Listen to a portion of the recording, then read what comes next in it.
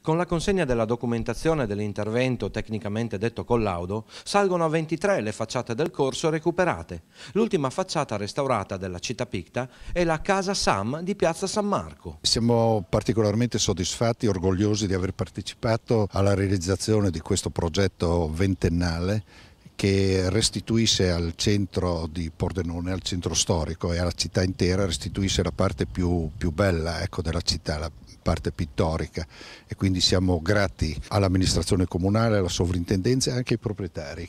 In quest'area sorse il primo insediamento abitativo di Pordenone, vi svettava la torre della Porta Friulana, il ponte levatoio sulla Roggia ed il palazzo che ospita lo studiolo di Giovanni Antonio De Sacchis, detto il Pordenone, massimo pittore friulano del Rinascimento. Il significato dell'alto valore storico nelle parole dell'assessore comunale Martina Toffolo. È un'iniziativa importante che avrà bisogno di essere rivista, che ha dato ad oggi a Pordenone, a noi tutti, la possibilità di scoprire che delle facciate grigie invece nascondevano al di sotto un patrimonio che ha fatto sì che Pordenone possa chiamarsi a pieno titolo città picta.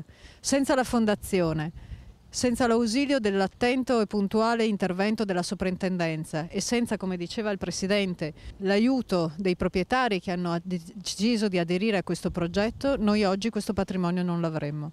È un modo di strutturare la nostra storia, di conoscerla e di mantenerla che fa di Pordenone una delle più belle città come estensione di centro storico porticato con delle facciate dipinte di pregevole qualità.